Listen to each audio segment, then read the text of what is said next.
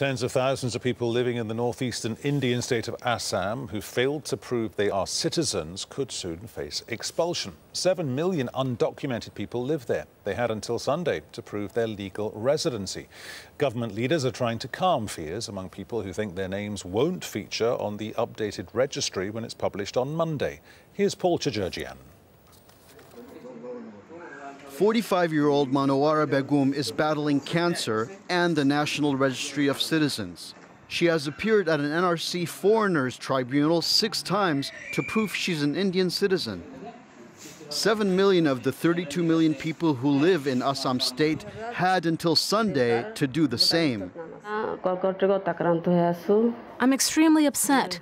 My health is getting worse, and if I don't get justice, my children won't be treated as citizens of India. If my name doesn't appear in the NRC list, then their names will not appear either. Critics of the Citizens Registry say a movement by the Assamese to protect their culture has turned into xenophobia.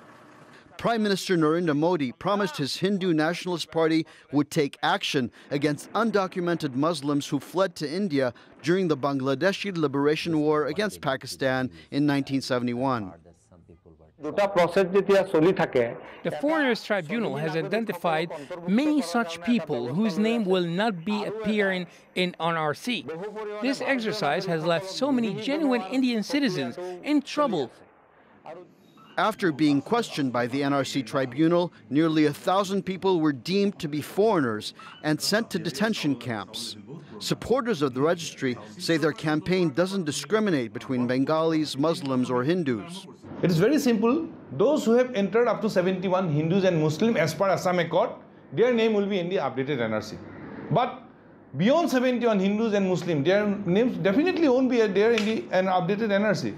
India's interior minister has ordered security to be tightened before the release of the updated registry on Monday. Rajnath Singh says there's no reason for anyone to panic, and he has ruled out further detentions. The government of the tea growing and oil rich Assam state denies accusations it's targeting poor and uneducated Muslims. There are more than 57% Muslims in Assam. They are mostly living below the poverty line. These people are illiterate. No education system exists in their villages.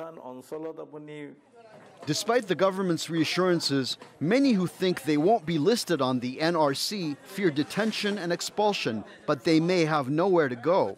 The federal government says undocumented immigrants can apply for Indian citizenship, but hasn't released details. Paul Chaderjian, Al Jazeera.